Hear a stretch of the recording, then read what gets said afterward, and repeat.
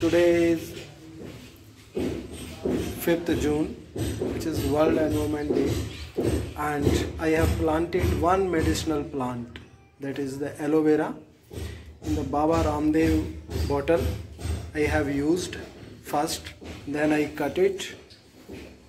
I, I have planted this plant at my home. Now we will use it, we will grow, we will care, stay safe, stay home, and do planting. Thank you so much.